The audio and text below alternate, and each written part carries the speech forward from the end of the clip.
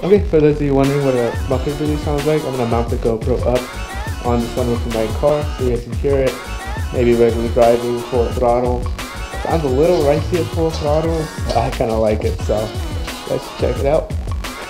Who knows that boy over there? Spike! Spike! What's up? Five. Good boy. Alright, let's go.